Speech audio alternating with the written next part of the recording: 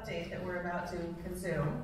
Um, it is my pleasure to introduce Roy Schneider and Ted Schneider, who will be presenting today. So let's give them a round of applause.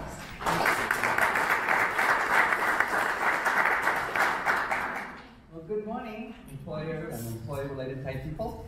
We are so glad to see you here and, and, and hope you will enjoy this, this, this morning. Uh, thanks to Chamber and SCORE for partnering with us in this. We always appreciate that. And we definitely appreciate the Sierra Bank for uh, sponsoring this event. The, the event is scheduled from 8 to 10.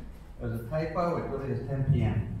So, so settle down settle in. There's, an awful lot to cover. So if you have questions, please hold them until the end if we have time. Otherwise, Ted and I will hang around for a bit and answer your questions. You can email us, uh, whatever you know you want. Also, the, the uh, handouts that we gave, they're really not meant for anybody over 40. Uh, the print is so tiny, you probably can't read it. So if you have trouble um, reading the print on it, you can take notes and you'll but contact us, either info or Angela or Petteri, and we will send you the uh, email. So we do big letters, so you can read it and print it in big letters. Uh, just how it comes out. Okay, so we're going to um, kind of begin. Um, oh, yeah. Governor Brown left office and he signed over a thousand laws. And of course, you presume to know the laws. If I call in any of you, would you be able to tell us all a thousand laws? And a thousand laws from the year before that, a thousand laws before that? Of course not. You presume to know them. So it's never an excuse to say, hey, I didn't know that's the law. But if you ever have questions, not just in employment, but contracts, or you know, dealing with customers, or privacy rights, or anything, you know, contact lawyer, pay a little bit of money, uh, and, and so We're a full service firm, we do contracts, sell your business, buy your business, um, employment, nonprofits, estate planning, succession planning. So think of us for your legal needs. But here, but we do a lot of employment, that's one of our big deals. And even though employment law is so complicated, a lot of the answers are in your handbook. So I can't stress enough, get a current, updated handbook. Lately, we've been having to update them almost every year. But when you have an HR issue, first thing to do is look at that handbook, and there's often the answers right there, about leaves and so on. So you also get a good handbook. And if you need questions on that, let us know. If you have a questionnaire, we send you, get your handbook back pretty quickly. Uh, okay, so, welcome to California. Things are, what happens? I wait, okay, this a lot, and people seem to miss it. I think uh, Walmart must not attended our last seminar. That there's wage orders. If you know wage orders, there's 17 different wage orders covering different industries. And so you should know which wage order. These are put up by the you know, Department of Labor and uh, the Commissioner's Office. Um, uh, which wage order uh, covers your business? And you should read and understand it. There's also a minimum wage order. And if you don't know, we can certainly help you which should read it because there's some subtle things in there, such as the suitable seating law. We talk about this every time. That's subtle. It's in there like that. Subtle, Suitable seating law says if the job that your employee is doing can accommodate a seat, you must provide a seat. And if the job doesn't accommodate a seat, you must have the seats close enough in proximity that that employee can sit down if he or she wants to. Now, do you know how far a proximity is? no. It's like a, a silhouette. You know, but there's a way to kind of figure this out. Walmart didn't figure it out, and they just got tagged recently for $65 million. Okay, so they, and they couldn't figure this law. So you've gotta read these things, very important uh, to do that. The change has been, uh, yeah, so look at your order, make sure you post them. Got a poster? The chamber has posters for you, so you can certainly contact the chamber to get posters. If you ever get a random order, there's no posters, there's fines and penalties. Okay, so the, uh, as you know, the effective this year, the state minimum wage increased to $11 an hour for those with 25 or fewer employees, and $12 an hour for employers with 26 or more. Various cities have their own. Dozens of cities have their own minimum wage requirements. All right? Um, and, and, and it affects all kinds of things. Now, when people ask this question, as you know, probably, to be an exempt employee, you have to receive twice minimum wage twice minimum wage. So somebody asked, is it twice minimum wage in the city with that, with their minimum wage, or is it twice the state minimum wage? Good question. it's twice the state minimum wage. So if you're in LA making thirteen twenty-five an hour, you have to pay them twice the eleven dollars an hour. Okay, that makes sense. And these changes affect the, you know, uh, meal breaks, weather breaks, credits, overtime. You have on, on-site managers, there's changes in how much, uh, on-site, you know, resident managers, how much credits they get. Uh, piece rate employment changes with these increases. The piece rate employees are supposed to pay them at least minimum wage for non-productive time. Um, Tools and equipment, there's some rules about, uh, if you pay somebody twice minimum wage, they might have to provide their own hand tools. So it affects a lot of your practice, a lot of the business that you do. Uh, this is the uh, chart, and you can see what the exempt rate is for people. So you have uh, under 25, under 26, this is what you have to pay. Over the following few years, you can see. And this is the way that you have 26 or more. This is a good chart to have. Um, just a very recent case, LA restaurant. A guy, owner, he had you know, a dozen or so servers, and he told them to kind of work off the clock, didn't get no overtimes, didn't give them lunch breaks, uh, and, and labor commissioner determined that people averaged about four dollars an hour, and he got hit with a five hundred thousand dollar fine from the labor. So he tried to save a few bucks, ain't gonna work. Uh, also, we have um, other areas like computer software people and physicians. Computer software people, you're a programmer, not IT people, but a computer programmer, and you want to avoid overtime for them, there's also increases in what you have to pay them. Something like $45 an hour, 78 a month, $95,000 a year. So if you have those kind of people, let us know, we'll give you the exact amount. But a lot changes every year with these changes. Uh, and here's an example of LA. And again, there's dozens of cities that have their own. And gee, when do you have to pay the LA rate, or the San Bernardino rate, or the Riverside rates? If you have an employee that works more than two hours in a week in one of these cities, then you must pay that minimum wage at least for every hour they work in that city. So you need to know. If you have questions about what city's wage is what, let us know. We can tell you what that hourly wage is. Okay, so Ted now is going to talk about uh, some of the new legislation, and then we'll move along.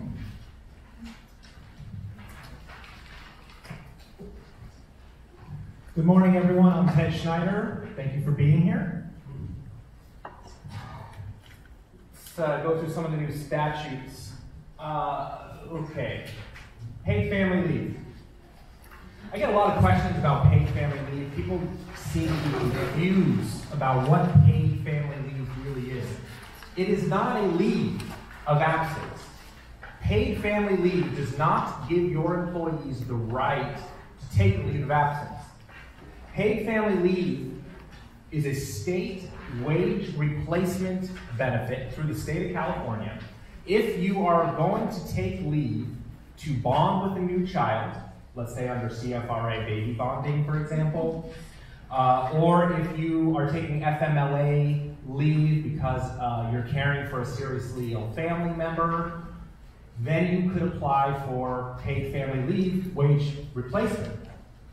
Um, this new law creates uh, an additional reason to where, where an employee could receive paid family leave if that employee is taking FMLA to care for a spouse who's in the military, who has qualifying exigency leave under FMLA for the military. Uh, it's kind of a very narrow uh, exception that won't come up very often, but I think it's important. I wanted to highlight uh, just this change in paid family leave because I get questions all the time. Well, but it says in our handbook that paid family leave gives you six weeks of leave but no, it doesn't. It gives you the right to apply for wage replacement benefits if your employer, if you, already grant that employee leave through some other leave right that already existed. Doesn't create a new, a new right to leave. Lactation accommodation. So in California, up until this point, we had a, a law that says that if you are a uh, breastfeeding mother that you have the right to uh, express breast milk in a location, in a private location, other than a bathroom, uh, or excuse me, other than a toilet stall. That's what the law said before. Now it says other than a bathroom. So if you have pregnant employees or uh, women who have just given birth, you need to provide those women a private location. It could be an office uh, where they can express breast milk, but it can't be a bathroom. Uh, it has to be something else. Uh, and, and there is an undue hardship exception, but undue hardship is a very high standard to meet. Uh, it'd be hard to think of an office or a location, employment location, where you would not have a private place for the woman to express breast milk. The law even says, for example, you could have, if you're out in the field, let's say it's a construction project, an air-conditioned vehicle would be acceptable in those situations. Okay, salary history. This is a big one. This one, this is a new law that came up last year. You as employers are prohibited from asking any prospective applicant, any applicant, uh, about their salary history. You cannot consider an employee's salary history in determining what that employee's salary will be for you. The uh, California Fair Pay Act was designed to avoid this systemic uh, wage disparity between men and women. Uh, and when new employers look at a, a, woman's previous salary history, well, now you're just building in all that past discrimination where the women's wages were suppressed. So you can't consider past salary. Your, your employment applications make sure that they do not have uh, a box for previous salary. It's not allowed. Um, the new law says that uh, you can ask an applicant about their salary expectations. So you are allowed to ask what are your expectations for salary. You also have to provide a candidate with a salary range. If they ask for a salary range, or excuse me, a pay scale, you have to have one for that position. So if you are opening up a position for recruiting, make sure you have a pay scale decided that you can provide to an applicant who asks for it. You only have to provide that pay scale, scale after completing an initial interview. Um, you don't have to provide it to uh, existing employees, the pay scale for the position, only to external applicants. Um, pay attention. Prior salary cannot be used to justify wage differential even between current employees. Even if you, you're existing employees, prior salary cannot be used to justify any wage differential. So you've got to examine all of your employees' salary, and if you've got women and men or employees of different races who are doing the same job or essentially the same job and they're making a different salary, you better examine and you better see why that is and correct it. Um, now, you are allowed to consider salary history if the applicant in an interview volunteers the information. So if, if all of a sudden you're interviewing a, a, candidate and she blurts out that she used to make $80,000 a year, you know, you don't have to cover your ears and go, stop. You can now consider that information because it was voluntarily given to you, but you can't ask for it, you can't try to elicit it in any other way. So it's, it's very important when you're, when you're making your compensation decisions that they are justified by factors, uh, merit, seniority, not prior salary. Criminal background checks. Um, so this is another area where a lot of employers were getting confused. We have a ban the box ordinance now in California that took effect last year. We talked about that in our last update. Now there's some clarifications with SB 1412. If you are an employer that is required by law to uh, check the, the criminal backgrounds of your employees, then you can do that. Uh, if you have a position where the employee is going to possess or use a firearm, you are allowed to consider criminal uh, conviction history, even if those convictions have been judicially sealed or expunged. Uh, or if, for example, there's a specific law local, state, or federal law that says that if you are convicted of a specific crime, you cannot hold this position, then as the employer, you are allowed to do a criminal background check for that specific crime.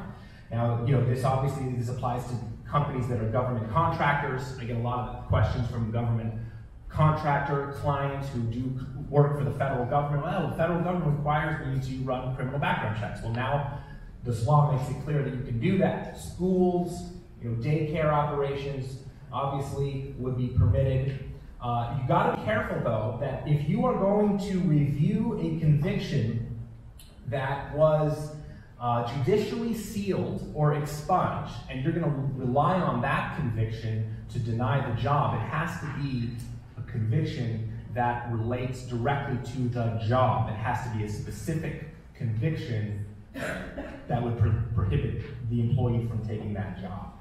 So it's pretty, it's pretty narrow. Uh, okay, Roy's going to come up now and talk about some discrimination uh, and harassment laws that have come in.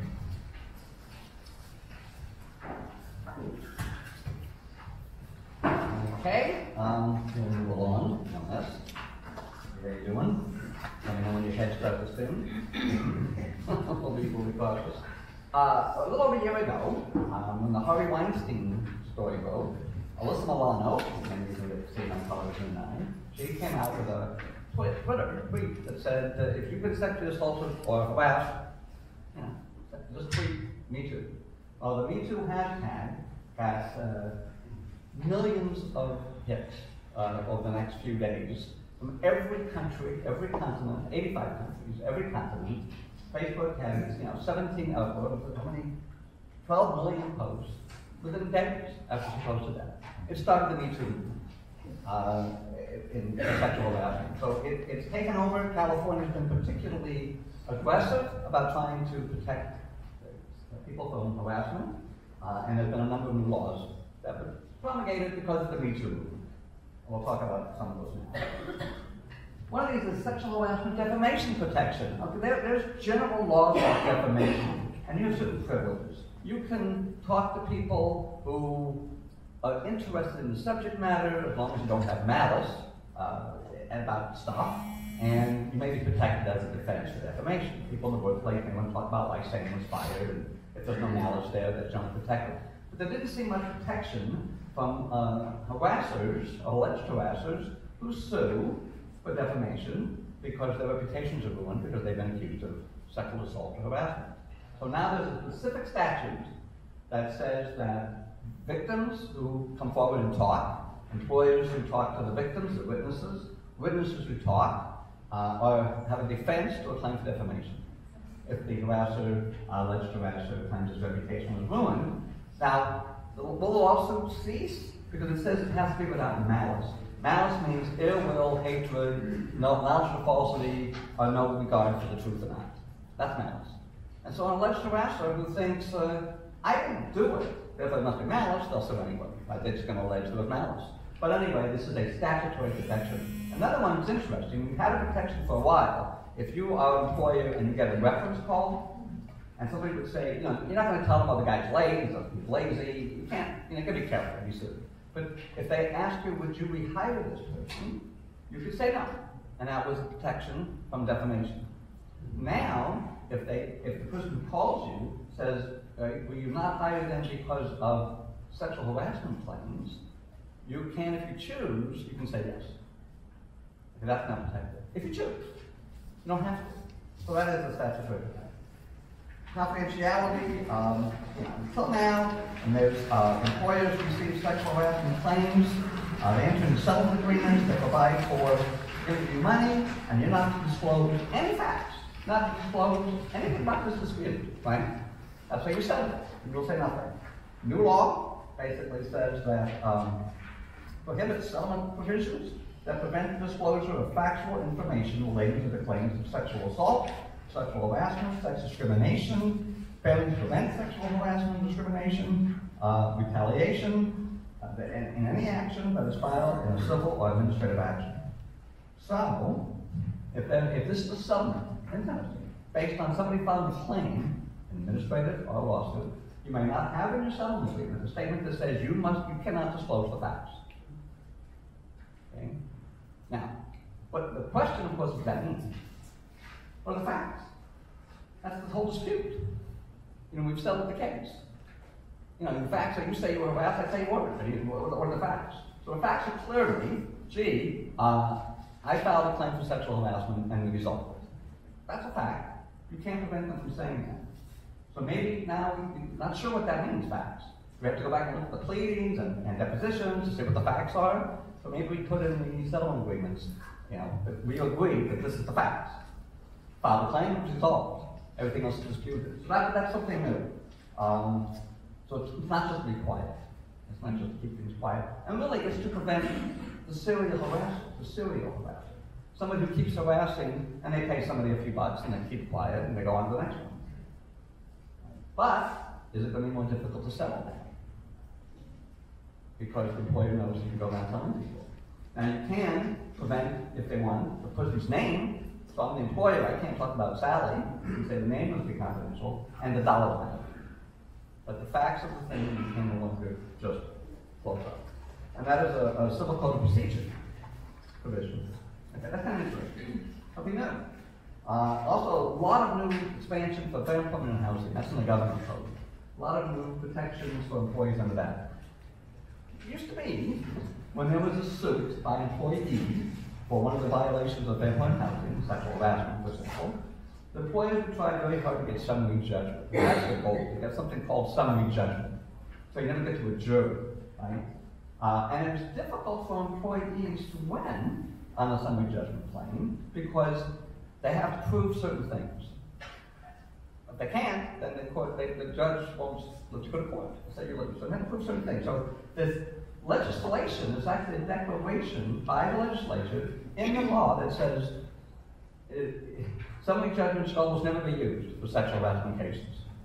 It is not appropriate for sexual harassment cases. They actually make that statement, not law, but the statement of how they feel about that.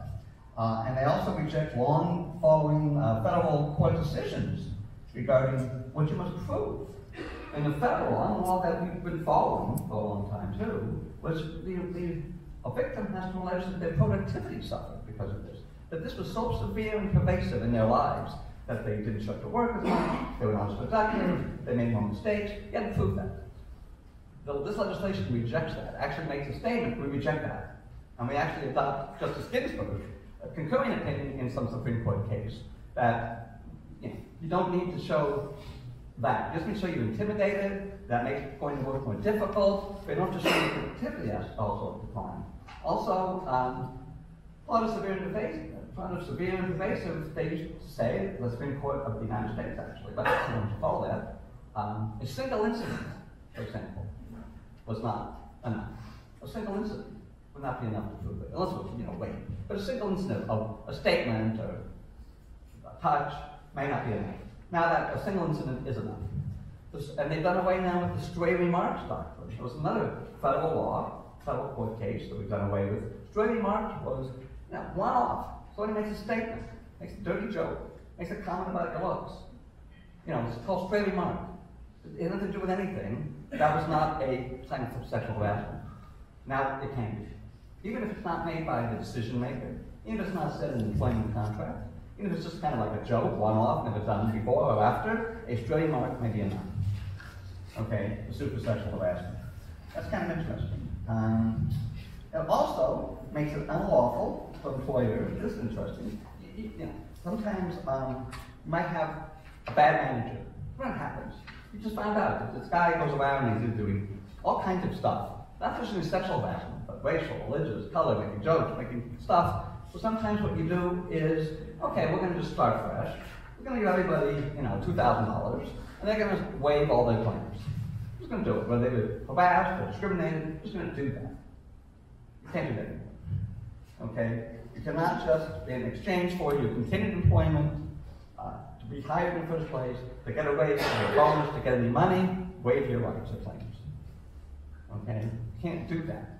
Unless it's part of a uh, negotiated settlement or severance following either a you know, claim to the court, claim of administrative agency, or a claim that went through your internal dispute process, then you can agree that they're not going to, uh, they're waiving their claims, obviously. You're gonna pay them money, has to be negotiated, has to be fair, pay them money, uh, they have to have a right to a lawyer, get a lawyer. So there's processes now. You just can't pay people money to shut them up and waive their claims. A lot of people do that. They call me and say, oh, I, I know that people are, are thinking they may sue me, I want them to waive their claims.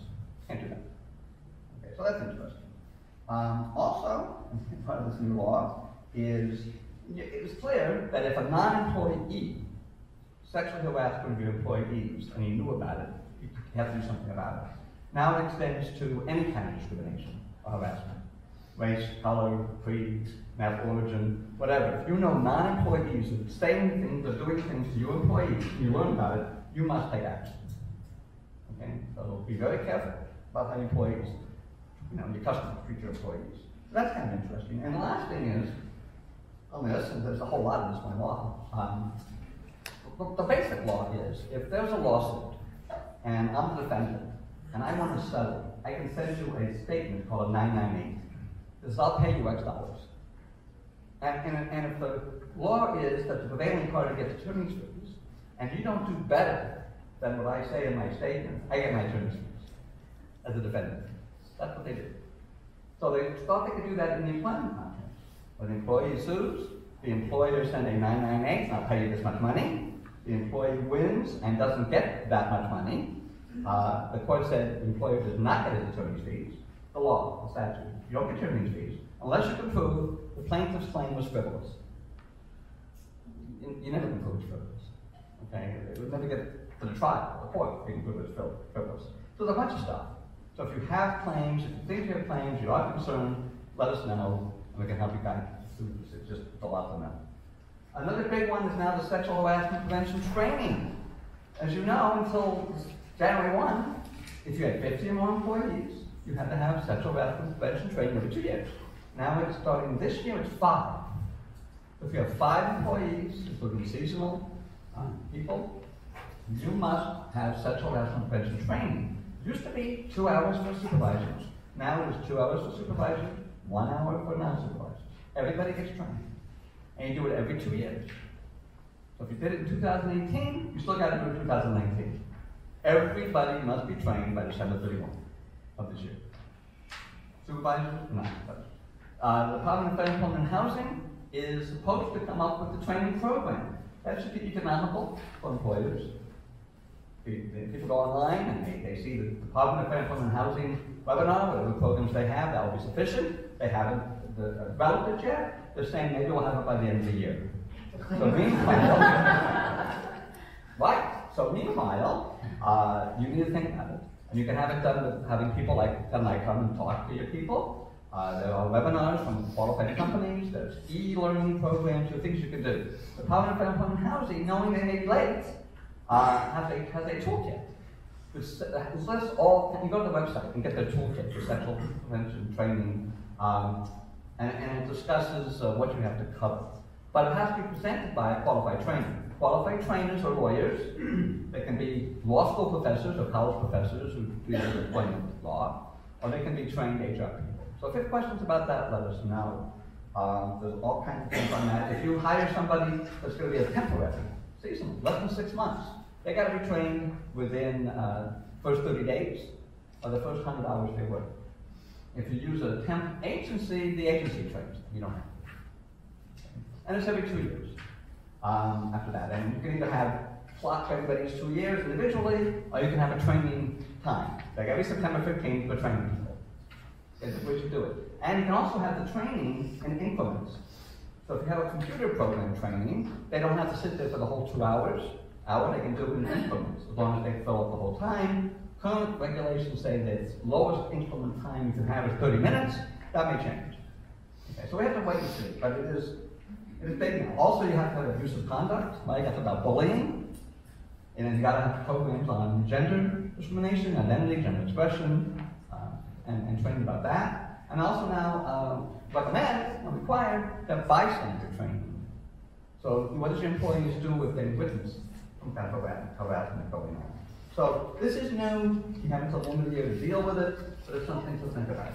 Uh, no longer waive a right to testify. A lot of times in a settlement agreement, you would say, we're going to pay you money, this, this case is done, over settled, um, whatever we've done, you're not going to ever testify in a court proceeding about this. Can't do that anymore.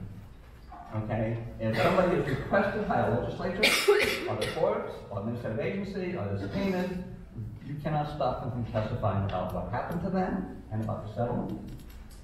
You can stop them from volunteering at the public. They can't go to city council to stand up and say, you know, how bad are. But that is a new one. And the, the last thing I think I'm going to talk about is, no. Uh, women on the boards. You know about this? This is of interesting. Publicly traded companies. If any of you are looking for a publicly traded company that's headquartered in California, this year you must have a female on your board. You must. Uh, and, and by 2021, if you have four or fewer board members, at least one female. If you have five, you must have at least two females. If you have three, six or more, you must have three females. Now, it's interesting, studies have shown, and the legislature talk about it, that companies with females on their boards do better. They, they do much more profitable. Uh, and what's interesting is, uh, who knows if this is legal? I, you can see all kind of constitutional issues. You, know, you must put a woman on the board. You, must put a Hispanic. I mean, where do we go? But it's questioned. Then Governor Brown recognized it. He actually signed on the thing. I question the legality of this thing. But did anyway. And it's kind of clever because is anybody going to challenge this? Is some company going to say, I don't want any effing women on my board? no, I, I can't imagine. And by the way, women control the marketplace. So mostly public traded companies, basically you know, consumer type things. So uh, it'd be very interesting. And, and, and, I teach, I'm a professor at Cal Lutheran, I teach business law. Uh, and I talk about this to my students. And interestingly, a number of the women said, I think this is unfair. Shouldn't they just have the most qualified person? Well, what he's taught, because to have critical thinking, have to critique, is, um, yeah, but women have not had the same opportunities in the corporate America. They're not going to be as qualified. So the law recognizes that and says, you don't have to replace something. You can just add a seat and put a woman in. So that's an interesting thing. We'll see where it goes. But it, it, that's the law. Oh, and if you don't do it, it's a $100,000 fine the first time, $300,000 every time after that. And the Secretary of State of California will make a list of publicly traded companies in California that don't comply with this. We'll see that goes. Fascinating, huh? Uh, if you in the uh, talent business, you have uh, talent, you talent you, know, you get, you get uh, people, do commercials, whatever. Um, we must now, starting this year, get adults all kinds of materials on sexual harassment, prevention, uh, retaliations, all the stuff about sexual harassment, plus eating disorders.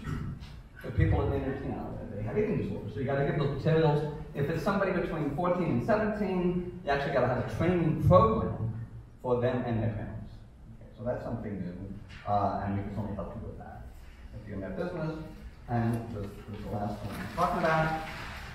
Professional relationships. this is such a big part of our law here. The law was that if you had a professional relationship, such as doctor, lawyer, accountant, and it was difficult for the victim to extricate himself or herself, they have a claim for sexual harassment. You cannot date them, you cannot do things. There's some rules you can't do. Sexual harassment, they have issues. Uh, this law now expands that to govern you know, public officials now, investors, you know, people who want, you want something from somebody, they're right to ask for sexual favors. You want me to invest in your company. Directors, producers. The list is longer, and you no longer have to show that it would be difficult to extricate and the typical situation with the divorce, the divorce lawyer, uh, we say the wife's in the middle of this, it's very hard just to switch lawyers, and they just succumb to some of the you know, suggestions of the lawyer. So you don't have to show that, that is difficult. So that, that's kind of a new thing as well. Okay, so now Ted's going to talk about some more legislation.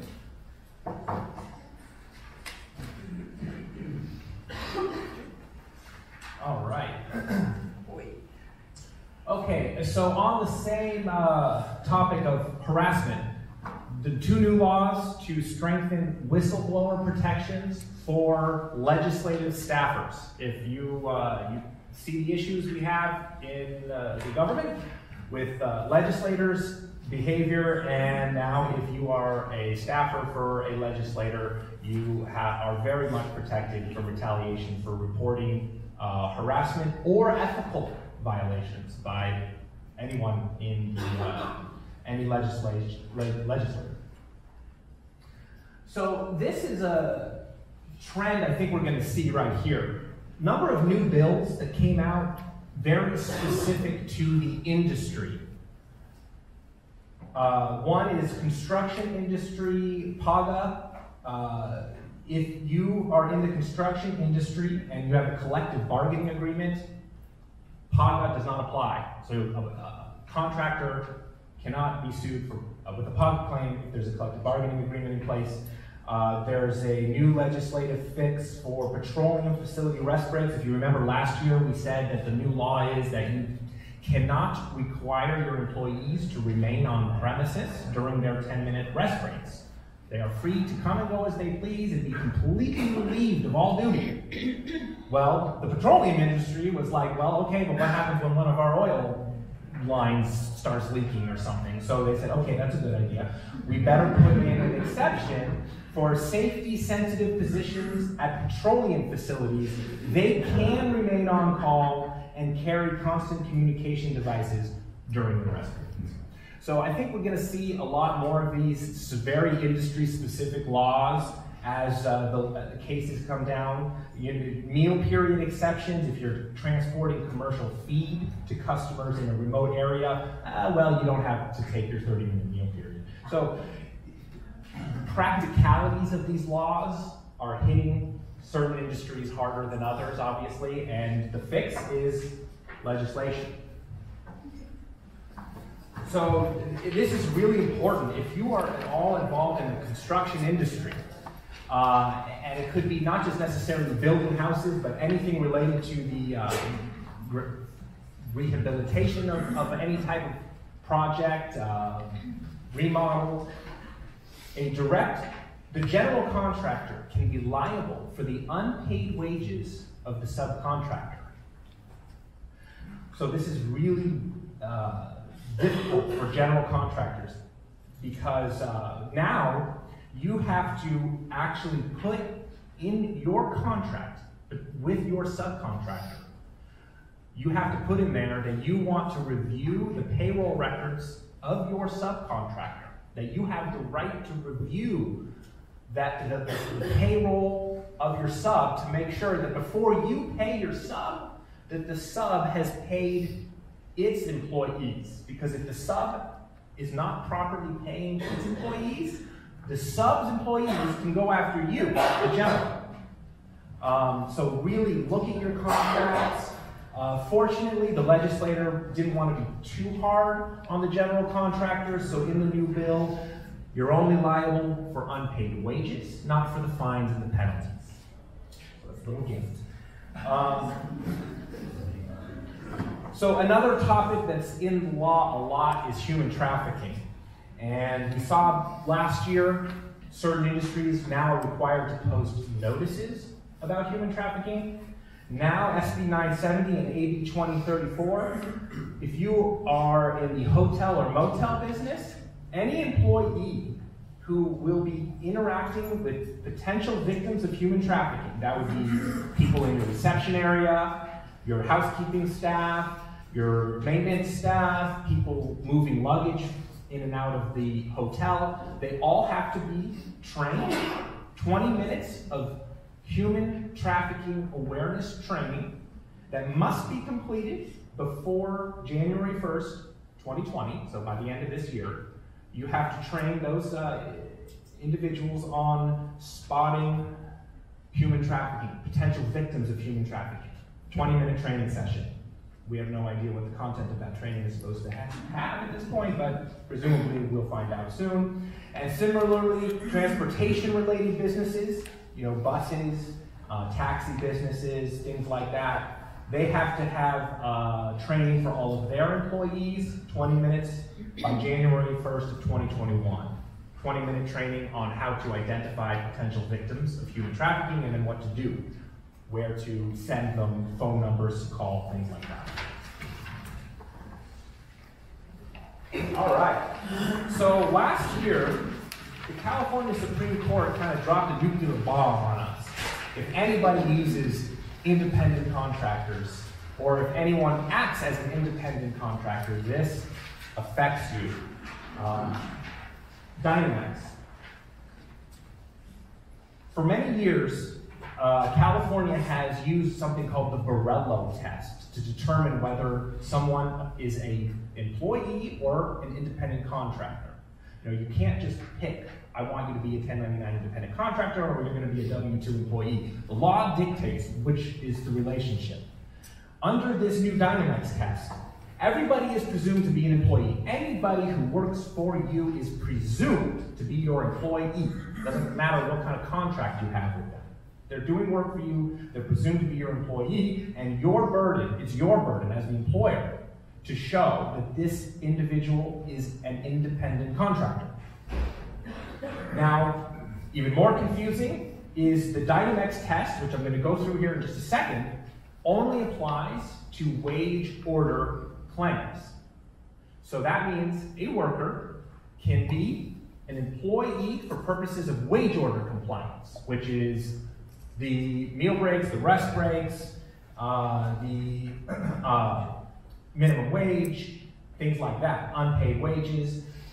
But for purposes of workers' comp, unemployment insurance, uh, wrongful termination, waiting time penalties, the Dynamex te test does not apply. The old Borello test applies. So you can have the same worker, for some purposes, he's your employee, and for other purposes, he's an independent contractor. You have to withhold uh, income tax, but not uh, pay for workers' comp. I mean, it's, it's crazy. Um, and uh, so let's, let's look at what exactly the Dynamex test entails. It, it's a three-factor test, A, B, C. The court, in its infinite wisdom, thought that we were going to be simplifying our lives. That's just three things, A, B, C. If you fit these three things, you're an independent contractor. All right, so what's A? A is that you have to be uh, free from the control of the hiring entity and the performance of the work. Now, this is a familiar factor. This factor is from the Borello test. Most independent contractors, if you hire an independent contractor to come do work for your business, you really just care about the result. You don't need to control the method, the tools that the person uses, how the person accomplishes the task. You care about how that task is completed. Uh, an independent contractor can refuse work assignments. An independent contractor can set his or her own hours. Control. Independent contractors have control over their work. Employees, you control the tools, the methods, the hours, the working conditions. So this, this factor is familiar, okay? I think, you know, we can, we can manage that.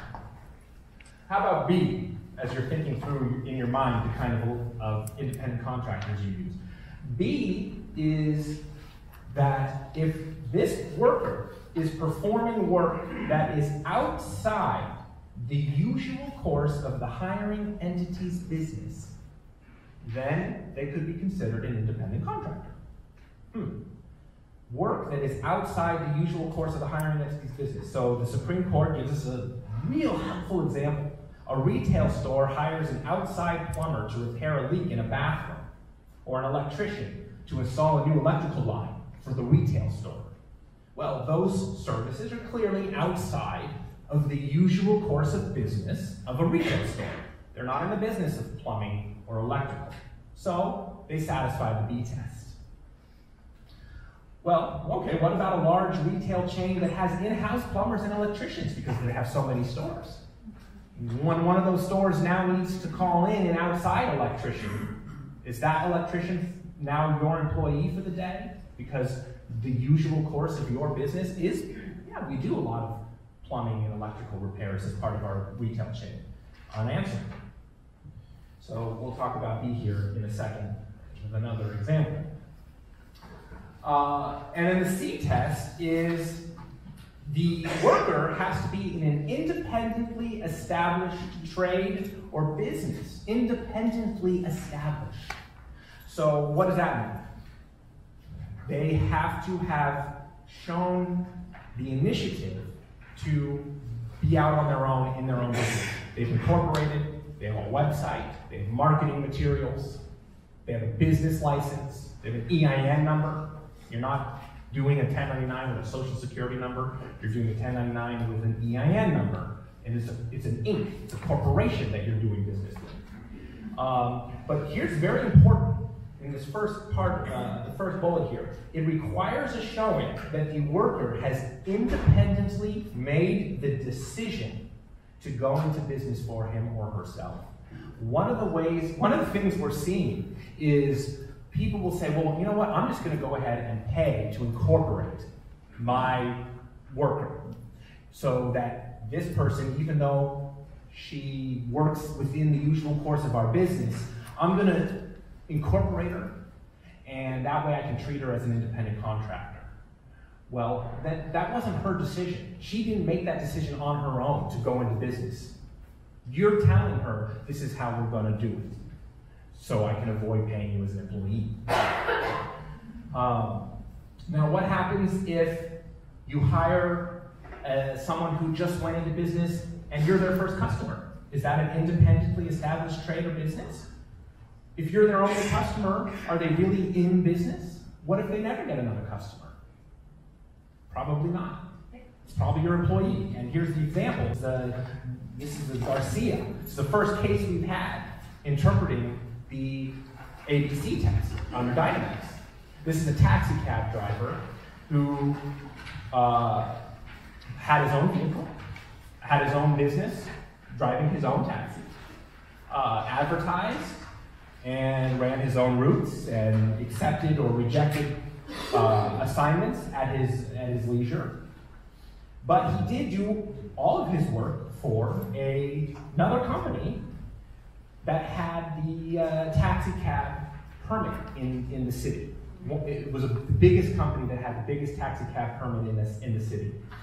And they argued, the taxi cab company called BTG, they argued that they did not exercise any control over its drivers. Their drivers set their own hours, they set their own rates.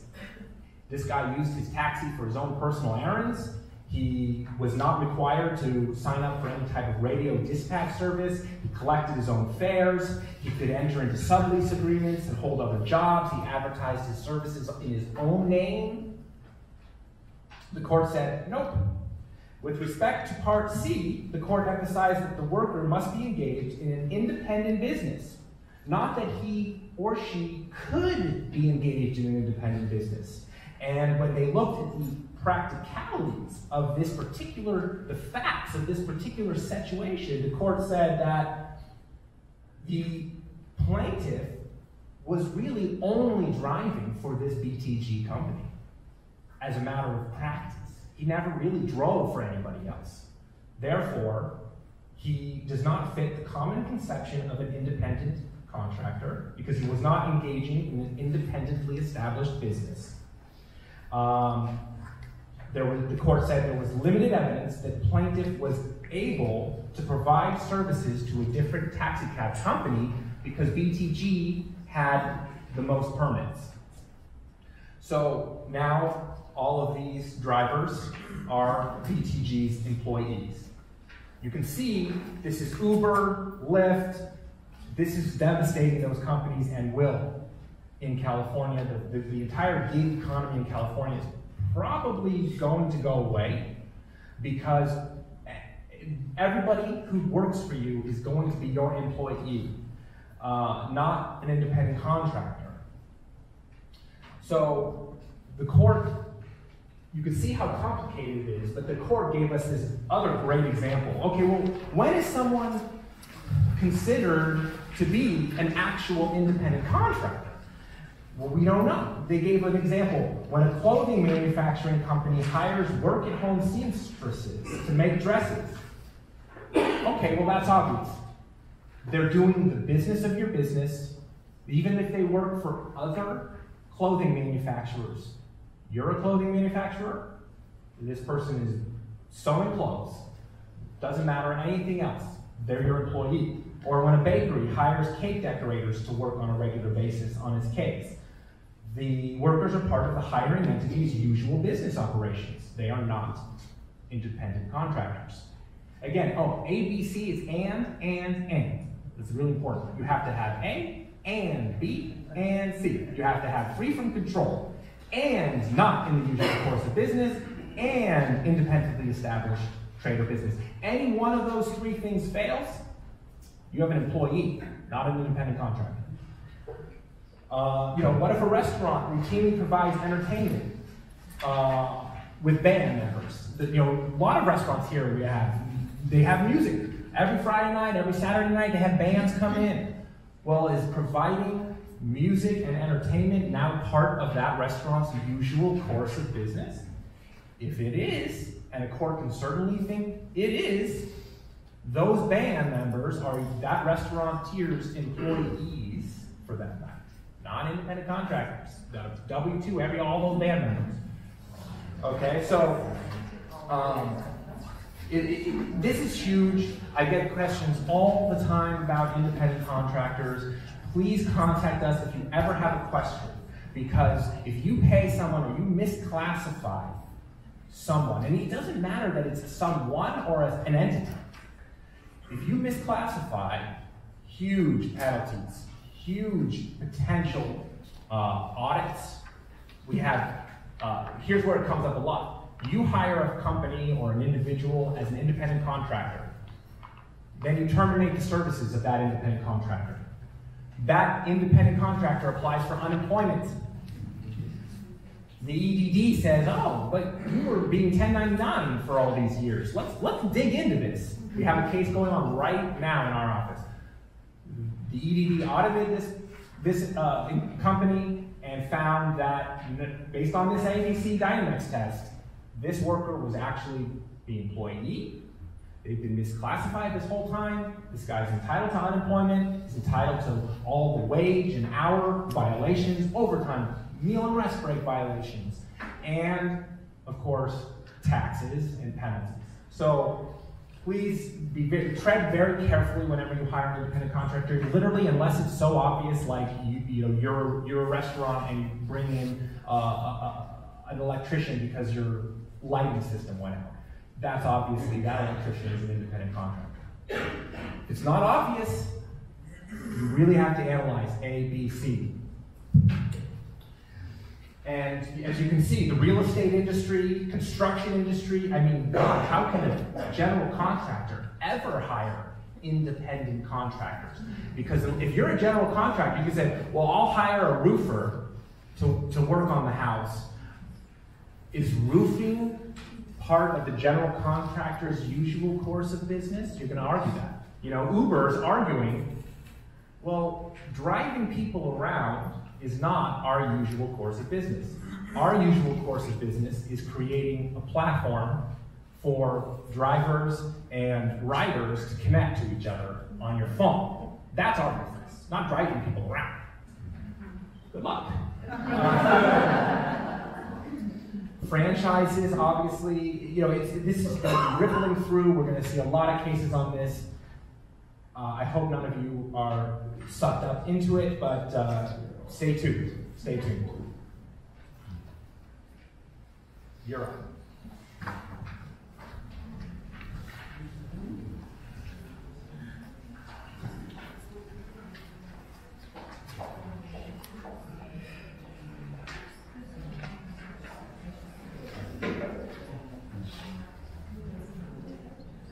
Now, what's interesting is that the, the legislature could have solved. They could have a statute that says this is what an independent contractor is, this is. So you should probably write your, your assemblymen, your state senators, because the courts come up with these things. And the Supreme Court judges, these are people who never had a job. Okay? They have never hired anybody. They never had to think about what this person is. That's why they came up with lame examples to trying to help us. Um, and they make these rules, thinking of helping the poor uh, laborer whose employers take advantage of, because you can take advantage of somebody as an independent contractor who is not. But you know what? We're seeing there's a whole bunch of people, especially older people, who want to work They want to be their own independent contractors, because companies aren't going to just hire them, but they might hire on a contract basis. They want to be independent contractors, and they can't be because of this law. So the legislature needs to deal with it, and hopefully the legislature will deal with it, and that, that is the issue. Uh, but it is, it is frightening stuff. Okay, so this is, um, employer, ah, interesting. Maybe you understand the concept of respondeat superior. Employers are liable for the wrongdoings of their employees in the scope of their business. That's the basic law. You have an employee that does something bad to somebody, hurts somebody in the scope of their business, employer is liable. That's why you incorporate. Um, and an exception to that was the coming and going, commuting. If somebody got into an accident, employee commuting to work, the employer wasn't liable. Then there were some cases that said, but if the car being used by the employee benefits the employer, then we deem it to be a company car, and the employer is liable and the commute. Benefits the employer because you require your employee to go drive around and do stuff. Go to the post office, go to court, go pick up stuff, go see customers. Okay, so now, this case was an exception to the exception uh, of this. This was a, a case where the public defender, and he would use his car, go to work, and sometimes he'd go to court, go see clients, you know, go to jails and see people, and so on. Um, and that, that would benefit the employer. But he got into a horrible accident on the way to work. But the employer was able to show we weren't going to have him leave the office that day. So that day it wasn't a company car. And the company, the company wasn't liable.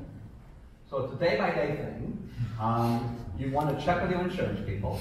You want to make sure your, your employees have insurance. You want to make sure you have proper insurance. You may have a receptionist on the way home drops off the mailbox. That car is a company car, and you're liable for accidents in the community. So just make sure you have a policy on that. You know do. Um, okay, so this, you know, talks about that more. What's this? Right, okay. Oh, this is. Okay. Uh, the Circuit, this is interesting. We have the Americans with Disabilities Act, which says you're liable basically for discrimination against somebody who is disabled or regarded as disabled. So if the employer believes that that person is disabled because they are limited in a major life function, that even if the person isn't actually disabled, but regarded as disabled, you have liability as an employer. The, there was a, the American Disability Act, Amendments Act, um, has now modified that a little bit, and it's the first case that dealt with what does it mean regarded as. This was a guy who had a shoulder pain. Shoulder pain. Generally, you are not guilty of dis- disability discrimination if somebody has a minor transient injury. Right? They, they their ankle running, they, they, they kind of just bump their elbow. That's not really disability. And, and employees would have to show that you subjectively believe that they were limited in their life function. This guy a shoulder pain. Look, I'd like to be moved to a different part of the company, that's less strenuous. He got fired. Okay, he brought a suit. The employer brought a summary judgment saying he did not prove that we subjectively believed that he was disabled, that he was limited in any kind of life function. We thought it was minor and transitory. The appellate court said, no, we're going to reverse the summary judgment, you're going to go to trial. If you think it was minor and transitory, that's something you've got to prove in a trial. Just the fact that you terminated this person by, because of a shoulder injury, that was enough to meet regarded as a disabled test, regardless of what you subjectively thought. So now the employee just has to say, I of hurt myself, I had some kind of injury, I had a complaint, I told the boss, they fired me, that may be enough. They'll beat summary judgment. They may lose the trial, but again, you never want to go to trial. So if you lose on summary judgment, you settle. Okay, so it's been very difficult now to get summary judgment from. So regarded as disabled, somebody you know stubs their toe, and you fire them. You got to be careful. So come see us about those kind of things if you have. Um, let's see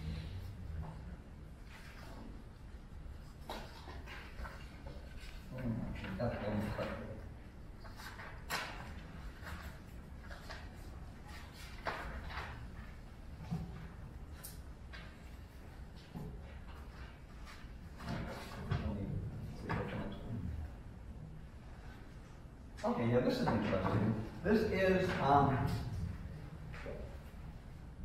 okay, we know that this is the okay. We know that you cannot have covenants not to compete. You cannot have covenants, you cannot tell your employees when they leave they can't compete. Okay, well, the, court now, we, really want to see the courts in California, no restrictions on your ability to go make a living and go work. So even though something may not be a complete non-competition, it can be a restraint of a substantial character. This was an emergency room physician who a falling out, sued, they settled with the company that, that ran emergency rooms. Company that contracted with hospitals to run their emergency rooms. Um, and, and you're allowed to have a no hire clause. You're not going to hire you back. You agree they're going to come back work for us. But this agreement said that you're not, you're not going to come back work for us. You're not going to work in any hospital that we're managing, their emergency room. And if you are working someplace and we come in and start managing, you'll have to leave. Okay? Well, that's not really non-competition because this guy could be an emergency room doctor anywhere. But the court said it's such a restraint on his, a a substantial character restraint. It's so large, especially future. And what if you end up, you know, taking over all the hospitals in the in the community? Guy have to leave the town. So that was too much. Okay, too much. So they, they hate these kind of things. The courts very careful how you draft your non, you know, you know, your termination, your non-rehire, and things like that. That's very important. That's a big case. Now there's another interesting one, non-solicitation. Oftentimes, as employers, you may have a confidential, confidentiality non-disclosure agreement with your employees. Very often embedded in those kind of agreements uh, is a statement that if you leave for one year, you will not solicit our employees. This was set up and it was approved, basically, for years, because we don't want somebody to raid the company. See, I leave, and I take all the employees with me, you're out of business. So they used to say if it was reasonable in time and scope, they were valid. Well, there was a case that odd facts, specific facts, the case was the facts were this was a nursing staffing company, nursing recruiting company. Somebody left, and the agreement that they signed said you will not recruit our employees for a year. Well, they're in a recruiting business. So that really was a substantial restraint on what they could do. If they can't recruit the people in the industry. And, and that, that would have been fine if it was limited to this. But if you read the opinion, it looks like it goes much broader than that. Looks like it can apply to any kind of employee non-solicitation matters. So, for now, that, that's the case, it's very specific, but the language is such that makes us concerned. So if you do have that, we should think about it talk about it, non-solicitation. They may be able just to leave and call people up. They always could leave and have the employee call them, or they would ask out employees could answer, but you couldn't call them up and solicit them. Now maybe you can. Maybe you can. Okay, so this is that. Oh. Just a real quick example on going back to Dynamex because I think it's helpful. This is this is the client I was referring to that is under an EDD audit. Company he owns does custom software for custom software programming for companies, and he has a stable of software programmers all over the place that work out of their homes and do the programming he treats them all as independent contractors. A client will call in, say, we need some custom programming. He'll assign one of his programmers to that client. They'll write the program. Done. Well, the EDD has concluded that even though these programmers all work out of their homes, they have their own computers, they can do work for other companies, they're not exclusive to him, they could freelance. They found that all of these programmers were his employees because he was in the business of computer programming. So, very, very, very far-reaching decision Dynamex. Uh, okay, FCRA, if you are doing a background check on an applicant, potential employee, uh, the consumer background check, you've got to use a new form. Make sure you use this new form. It uh, includes a notice about a security freeze feature that employees and prospective employees can activate on their credit to uh, protect their credit from identity theft. And so, very important that you use this new form, or you could be in, in a lot of trouble if you run a background check on an employee. Um, individuals we've known for a while. Now there's a, this case confirms that an individual who owns a business can be liable for unpaid wages. You know, this, this, in this case, the attempt a, a case, uh, the defendant argued, which, you know, if, if you want to make me personally liable for wage and hour violations, you need to somehow pierce the corporate veil. That's why I have a corporation. You need to show that there was uh, some, some bad conduct that would justify uh, piercing through the corporation. The court disagreed, and they found that uh, because of the way the labor code is written, that even if you are uh, not making the day-to-day hiring and firing decisions, just the owner of the corporation, you're personally liable for unpaid wages. And in this, it was a PAGA case, uh, $31,000 in unpaid overtime, and $300,000 in attorney's fees against the individual. Now, unfortunately, know, you, you, lawyers, we say bad facts make bad law. This is a bad facts. This, the, the company went bankrupt. So I think the court was looking for a way to make the employee whole by tagging the owner. Unfortunately, it's not limited to companies that go bankrupt, the decision. Uh, is your website ADA compliant? Hmm, that's interesting.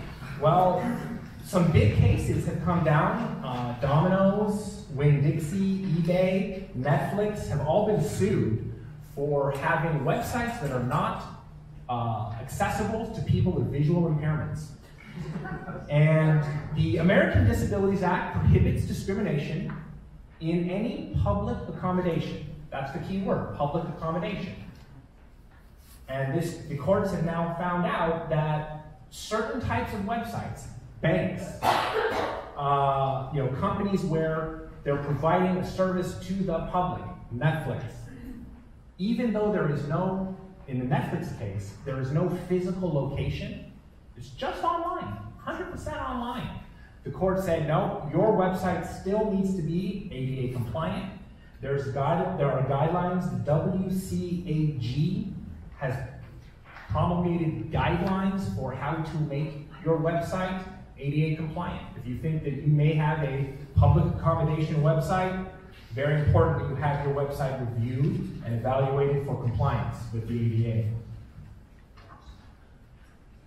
Uh, national origin regulations. Uh, we already know you cannot discriminate against or harass or retaliate against anyone for their actual or perceived national origin. So they may, you may, let's say, not hire or terminate an employee. It used to be a defense. Well, I thought he was Latino, so I fired him, and it turned out he really wasn't Latino. He was just white, but they look Latino. And you can say, well, see, he wasn't Latino, so no discrimination. Well, now, even if you perceived national or that you that someone had national origin and you terminated them for that, you're liable. National origin means physical, cultural, or linguistic characteristics that may be specific to a national origin group.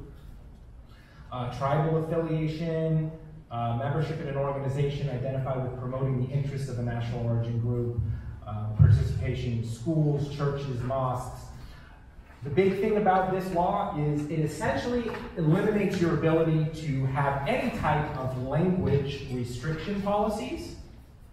Uh, if your workplace requires, if you have an English only policy, get rid of it or analyze it very, very, very carefully.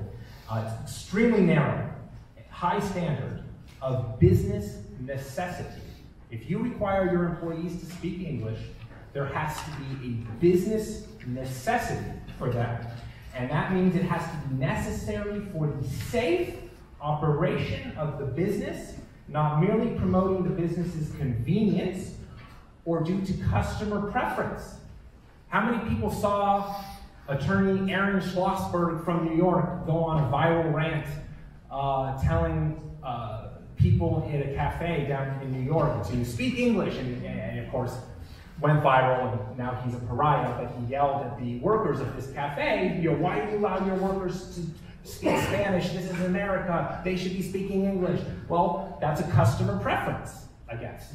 And that employer would be, if he was in California, in a lot of trouble if he required his employees to speak English because of that customer preference. It has to be a business necessity. Uh, employment decisions based on an individual's accent are unlawful, even if it may be difficult for your customers to understand. Like, my customers can't understand you. Sorry. Uh, so, uh, you know, the national origin even includes height and weight requirements. May have a disparate impact on the basis of national origin. So, really, any type of business uh, employment criteria that's based on any physical characteristic, really got to examine that very, very carefully. And these national origin pro, uh, discrimination prohibitions apply to undocumented as well as documented workers equally. Uh, PAGA claim. So we, we've mentioned this PAGA a couple times. It stands for Private Attorney General Act. What we've seen in California, because the U.S. Supreme Court has been extremely favorable to employers with arbitration agreements. Arbitration and class action waivers are enforceable. So a lot of employers, especially with a lot of employees, they want your you want your employees to sign an arbitration agreement with a class action waiver. So your employees can't bring a big class action against you. The way around it in California is for lawyers to bring something called a private attorney general action, which you cannot waive. And this is a representative action by one employee on behalf of all your employees for a labor code violation. What's crazy about this new law, or is exactly the case, Huff versus Securitas, is this particular employee was only aggrieved by one labor code violation, but the lawyer who was representing this employee brought a PAGA action citing six violations of the labor code, only one of which actually impacted the particular plaintiff. And so the defendant said, well, wait a minute, this guy who's bringing this action on behalf of the whole company, he's only was affected by one of these violations. And the court said it doesn't matter. Even though he was only alleged to have been affected by one, he was still able, as an employee, to bring this essentially a class action on behalf of the entire company for all six violations, even though he wasn't affected by five of them. Um, so obviously, this is going to increase costs to business owners in California. PAGA lawsuits are very expensive uh, because you know 25% of the penalties awarded in a PAGA lawsuit go to plaintiff, and 75% go to the state. But there are also attorney's fees that you have to pay.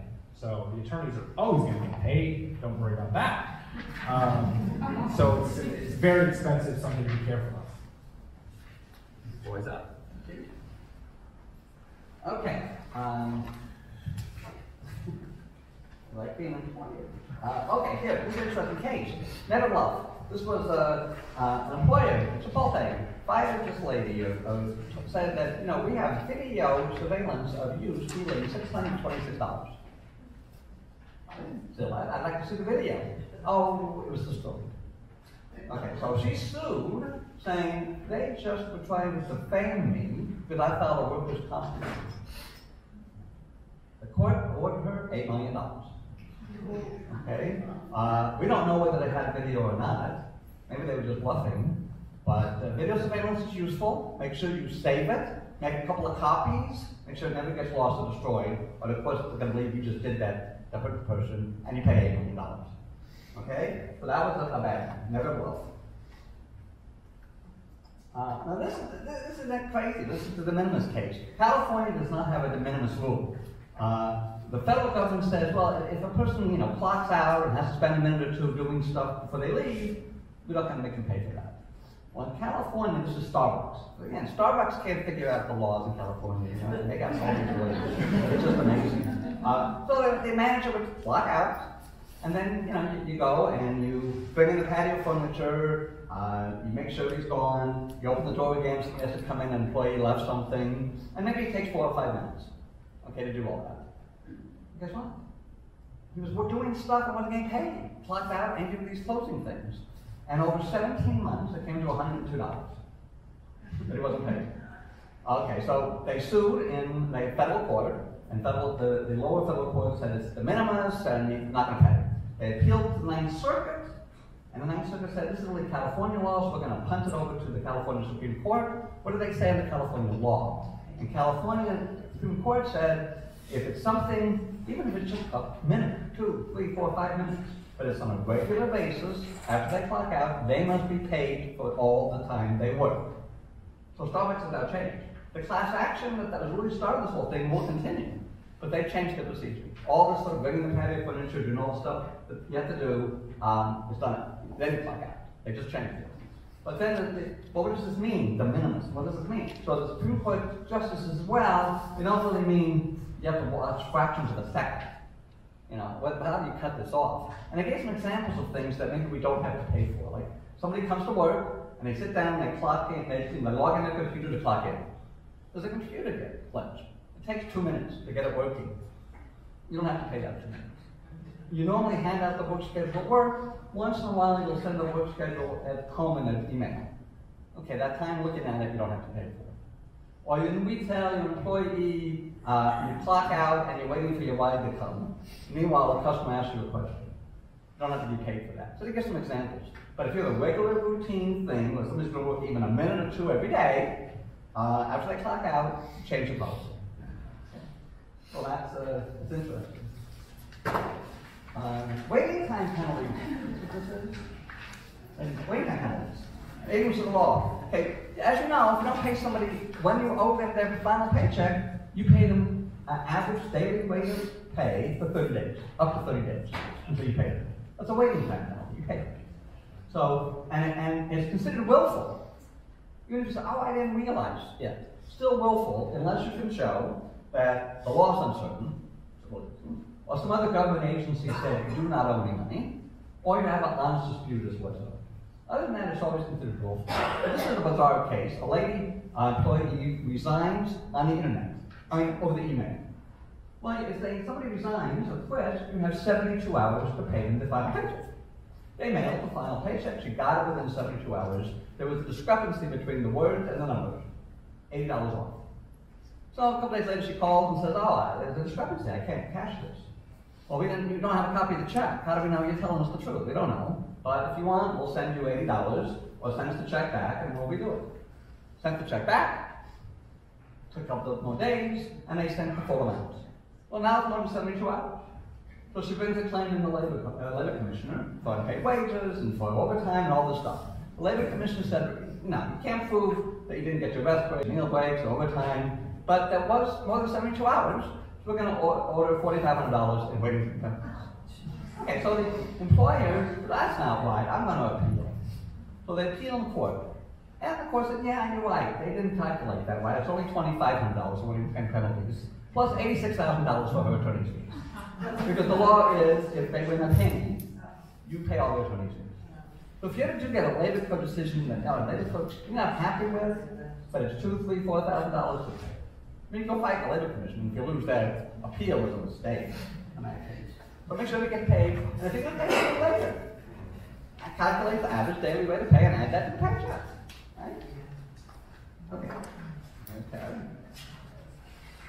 Yeah, I just actually had that yesterday. An employer client called. We mailed the final paycheck, but forgot to sign the check. The employee said, Hey, you never signed the check. This was now five days later. I advised my client, send her a new check plus five days of pay. That's the only choice you have. So this goes back to the uh, comment that Roy made about the California Supreme Court sort of not uh, not living in reality. Um, because they apparently didn't think that calculating overtime was complicated enough. so they wanted to make it a little more complicated. We know that when you calculate it, overtime for an employee, you have to do it based on the employee's regular rate of pay. That's not just their hourly rate wage. It's their hourly wage plus any bonuses, uh, incentive bonuses, other types of compensation. And in this case, a employer paid uh, a $15 attendance bonus if employees agreed to work on a Saturday.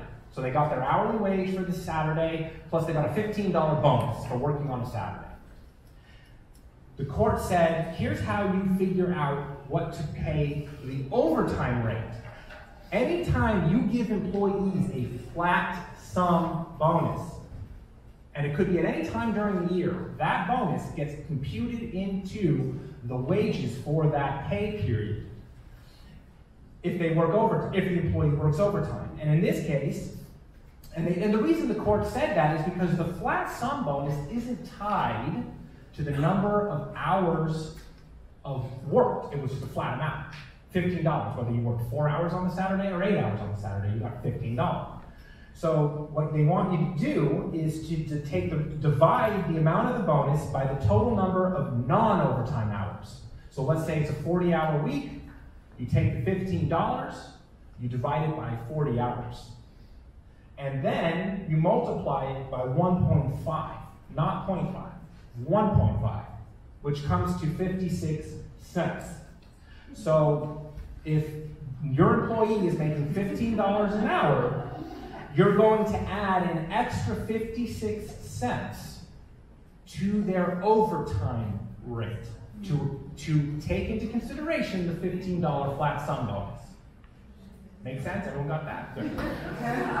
Um, now, you know what's, what's really frustrating is this particular employer was trying to do it right. They were trying to incorporate the bonus by using the federal guideline, and they multiplied it by 0.5 instead of 1.5. And they, that was even what was in the DLSE, the California DLSE, Department of Labor Standards Enforcement. Their guidelines, the state of California's guidelines said to do it this way, and that's how the employer did it. And the court said, we don't care what the DLSE says, that's not law, we're the law, you did it wrong, pay it.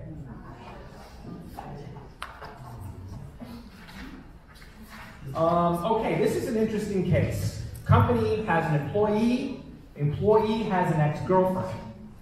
The ex-girlfriend doesn't work for the company, has nothing to do with the company. Ex-girlfriend had a, there was a domestic dispute between the employee and the ex-girlfriend. The, the employee was arrested, and, but never convicted. Comes back to work, the uh, employer was says, you know, there was no violation of company policy, nothing happened at work, this employee is a good employee, we like him. All right? Well, a month later, the ex-girlfriend decided to get some revenge because the domestic violence charges were dropped and the guy was never convicted. So the ex-girlfriend sent an email to the employer of her ex-boyfriend saying, you know, when he was arrested, it was because he threatened me. He threatened me physically while we were at home. And the company looked into it and they said, oh, interesting. Well, we actually have a policy, very strict policy. No, no threats. It's a, it's workplace violence. We take it very seriously, even if the threats occur outside of work. Again, this is all off duty. This all happened at this guy's house, not during working time. Even if those threats occurred off duty, it's very serious and it's a terminable offense. So they fired this guy. And he said, Whoa, that's not fair. Um, and the courts agreed with him, well, the jury did, because they said that, look, the law, as we talked about a little while ago, you, employers are not allowed to take action against an employee for arrests that did not result in conviction. And that's what he's claiming you did. You were you took my ex-girlfriend's email that I was arrested and that I threatened her. He was never convicted of it, and you believed her and you fired me over that. And the jury awarded him $18 million because they found that the arrest was a substantial motivating factor in this guy's termination. So, very, very scary case for employers uh, to be aware of. But make sure when you're ready to fire someone, do not do it for any legal reason, even if it's one of the many reasons. Um, so maybe four years ago, we used to talk about the NLRB was cracking down on employers' ability to uh, limit employee conduct at work in terms of, you know, you have to be polite, you have to be respectful, you can't yell at people. And we said, no, the NLRB says you can't do that, the National Labor Relations Board. Well, now we have a new president, and we have a new National Labor Relations Board. And the National Labor Relations Board has now said that it is lawful to maintain facially neutral policies that require civil conduct in the workplace, prohibit rude or disparaging communications, uh, prohibit disruptive or disorderly conduct. So you can now put in your handbooks that disruptive, disorderly conduct is prohibited. The issue before was by saying that disruptive or disorderly conduct was you, uh, prohibited, was it was it, squelching the employee's ability to complain about their working environment and that they would feel that they couldn't freely express how upset they were of, about their wages and their working conditions. And the National Labor Relations Board wants to make sure that employees can get together and bitch all they want. So now you can have a policy that says, no, at work, you need to be respectful and uh, not rude. All right, so let's look at some uh, cases Roy's going to talk about now. Okay, uh, yeah, okay. Arbitration, that's a big one. The, circuits in the state have been split on, the NLRB, whether you can require employees to waive their rights to contract. Obviously, the NLRB said no, they can join together for concerted activity to improve their wages and hours, you can't stop them from class. U.S. Supreme Court in the Epic case said arbitration agreements, because of the Federal Arbitration Act, which covers everybody basically, but people in transportation business, interestingly, they're not. But everybody else, that law supersedes any state law, and it says you it must arbitrate. If arbitration is valid, if you agree, so you can have an agreement with your employees as a condition of hiring them, or continued even employment, if there's some consideration, um, that they agree to arbitrate individually, not join a class. And so you can require that, uh, which is interesting. Um, whether you want to do that or not, then you've got to be very careful. You've got to also watch your, you know, conscionability, procedure, and uh, substantive. You can't have the employee come in with a stack of papers and say, okay, sign all these first day papers, in 10 minutes come see me. No. Want to make sure that arbitration agreement is, first of all, easy to read, English. If you refer to arbitration rules, you give it to them, and they have time to review it. If they're going to sign it electronically, make sure you comply with the Federal E-Sign Act and California Uniform Transact Electronic Transactions Act. We recommend paper, have them sign them have time to read it and review it. You can do that. Arbitration. Um, but you have to consider whether you want that. Okay, arbitration has some pros. It might be a little cheaper sometimes to arbitrate. Uh, it's no runaway jury. Uh, it's private. On the con side is there's no appeal. You can't do dispositive motions. There's no summary judgment. It's very difficult in, in arbitration. But what's happening is in Chipotle again. We just tag on a bunch of this. Uh, instead of a class action, plaintiffs' lawyers are saying, well, we're going to take all, you know, 300 employees, and we're going to file 300 individual arbitration actions. In California, the employer must pay the cost of the arbitration. It's five to ten thousand dollars just the arbitrator's fees. So they file 300 of these, that's off the bat, look what you're paying. So you have to, you know, weigh whether it's worth doing or not. Some employers are saying, we're just going to maybe do wage and hour has to be by arbitration. Other stuff doesn't. So it's something to think about. Whether you want to have uh, this arbitration, mandatory arbitration, class action waivers, and, and it's a lot to think about. Okay, for employers. So we've uh, talked about that. That's big. Also, what's interesting is you have an arbitration agreement, any kind of arbitration agreement, and and, and somebody says, I want to bring arbitration, and you would say, no, we're going to go to court because this problem we have isn't covered by the arbitration agreement. The arbitration doesn't cover this. Well, if you put in an arbitration agreement, the decision whether or not an issue is subject to arbitration will be decided by the arbitrator, then it must be decided by the arbitrator. Even if it's wholly ground, there's absolutely nothing to do with arbitration. If you said, you me, anything related to this area, the arbitrator decides whether this is something that is public. And, and this was Justice Kavanaugh's first written decision. Uh, so they want to decide whether you want that. You want the arbitrator to always be the one to decide whether this is even subject to arbitration. That's interesting. Rounding. We've always talked about rounding. Um, to around a little bit, you know, a few minutes away, and, it's- and the Supreme Court, not the court, said, uh, very clear that you can have rounding. in this case it was ten minutes. But as long as over the long term, it averages, sometimes low overpayment, sometimes low underpayment, it's fine. Even in a case like this, where the person's lunch, you're supposed to get a half hour uninterrupted lunch period, well, because of rounding, you only got twenty minutes, it rounded up to thirty minutes. Because it doesn't matter, rounding is fine, even though they only got twenty minutes. But what's interesting in this case is the employee wanted to argue, but I really took my lunch, it was all phony, I, I- they didn't keep all my time records right. Yeah, I didn't get my rest breaks. And the court denied that testimony, wouldn't even let this employee put that testimony on, because at the bottom of her electronic timesheets, it said, I certify that I've taken all my rest periods, rest periods and meal breaks, and I have an opportunity to do so. You can't go back and counteract your certification. So put those kind of things on all your time records. We don't, we, we have language, we can help you do that. That's a big one. When we talk about this restriction on salary, this is fascinating. As Ted mentioned in California statute, somebody can volunteer their salary.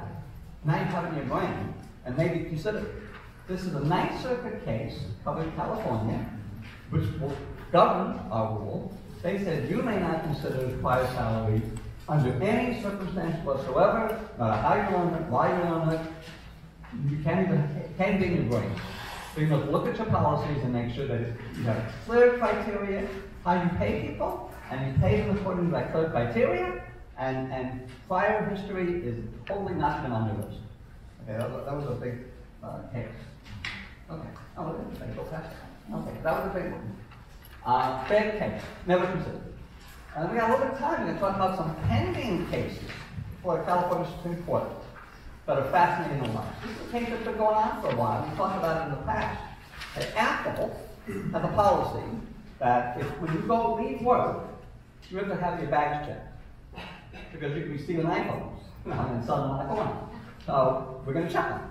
So somebody said, well, I'm spending five to fifteen minutes a day in line, I'll get paid for that. And they brought a suit in federal court. And the federal court said, no, you're not gonna pay for that because it's voluntary. You can leave your bags in your car. You don't have to bring your bags into work. Your backpacks and your purses in your car. Uh, it's voluntary, therefore you're not gonna get paid.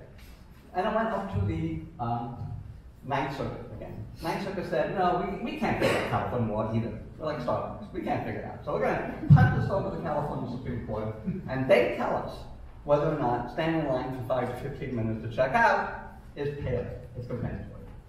California says employers have to pay as long as somebody is under the control of the employer, or the employer is fitting that person's work. Well, the question here, it says you have to stand in line here until you get your turn to check your bags. Are you under the control of the employer? My guess is the California Supreme Court, who's never again have a job in their lives, is going to say, of course they should be paid. You know, so we'll see what happens. But that's how in the California Supreme Court. And our next seminar, you'll find out how they decide. Ted will wrap us up. All right, home stretch. Uh, another interesting pending case. Just like the uh, gig economy is probably out in California, payroll provide payroll service companies are probably going to go out of business in California, depending on how this case comes out. The Boone Lardman case.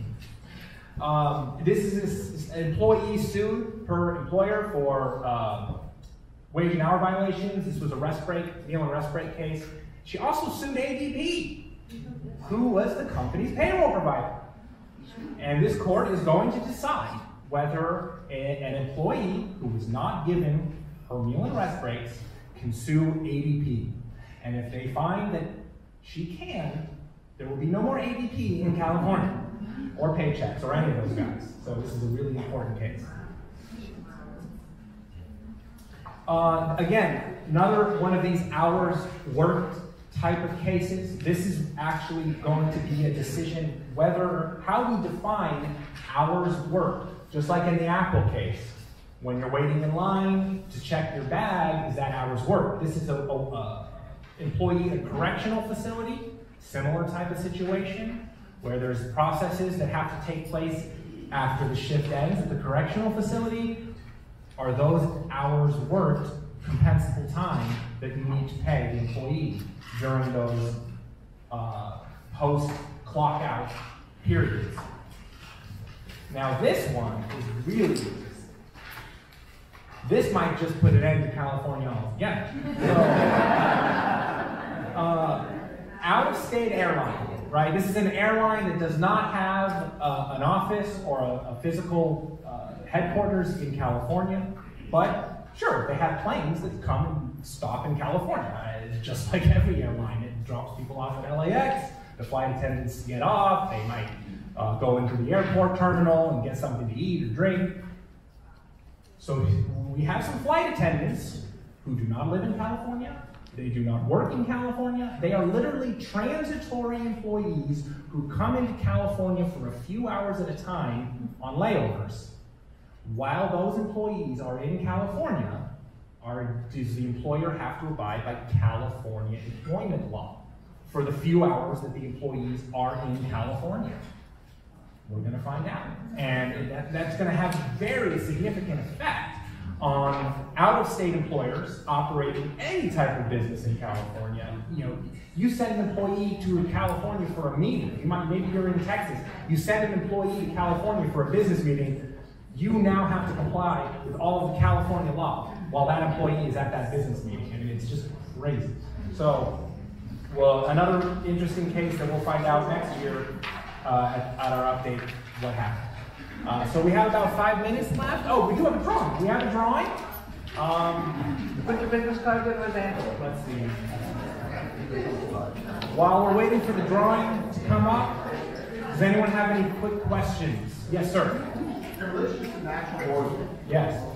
we generate work instructions for building stuff every single day. Can we require, and we go read them.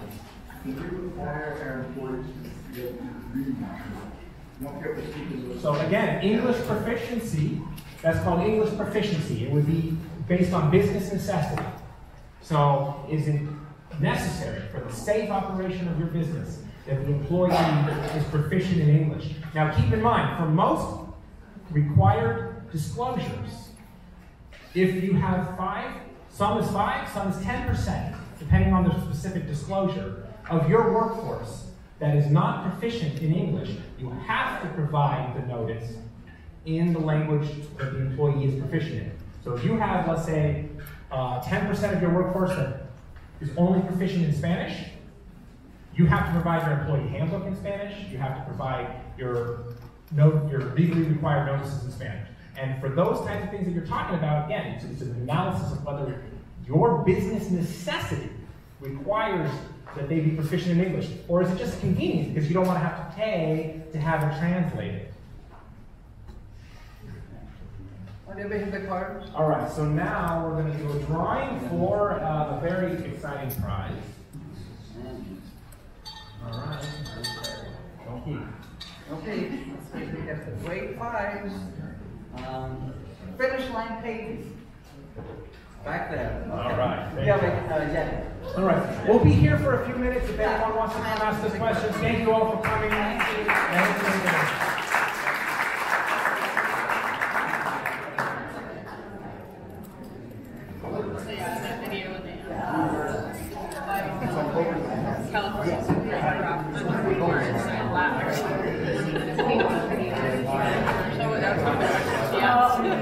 I was like, um, is there something you would like to do?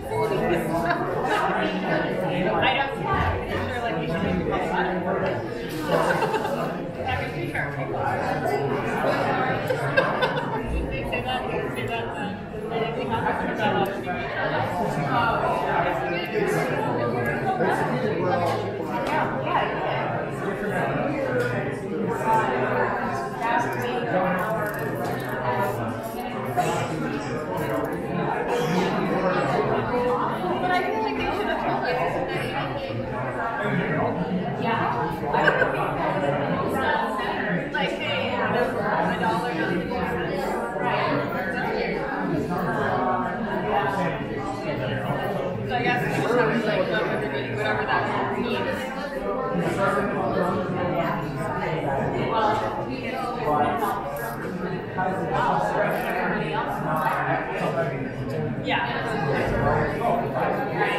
So I just like, Thank you.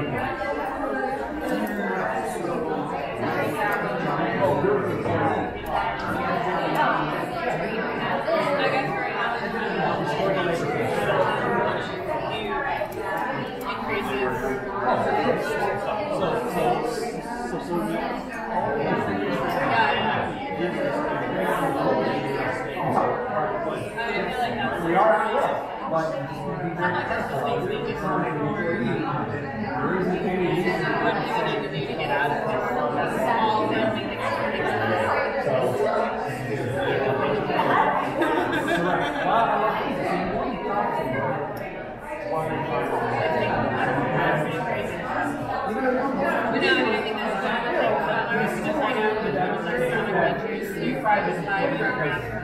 Um, just together, I think also, Kelly is pretty young, so she's becoming more and more. Yeah, she's so burnt out? I don't even know. I know we have one dinner coming up, and that's about it, but nothing can do it, making sense, you know, like, yeah, I,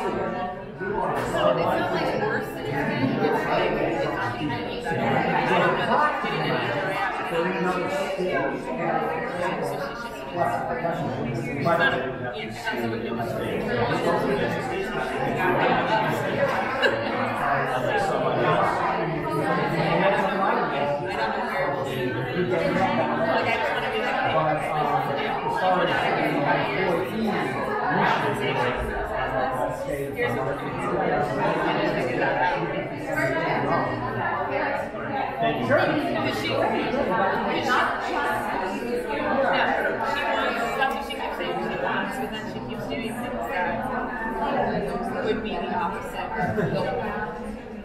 Like, I mean, I get the idea of the business us being the owners and like, you much we do, but the more we to the business, it's gonna be harder to I mean, it's funny to have like a history, but she really all that like, need to do is figure out how to not go backwards, but us, you know, whether it be the efficiency. This is how we use our salary. Might be like this direction, but I think either way, it's the direction we have to go. Because that's the only way for us to reach like that. And it's,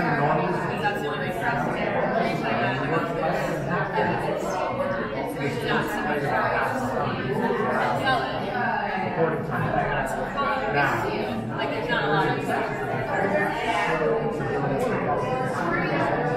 like I said, I feel like any direction we want to go, focus on making it sell it. Whether we say that or not, that's not, you know, that's what she wants to do. Right now, Jason, Those kind of changes, you can require their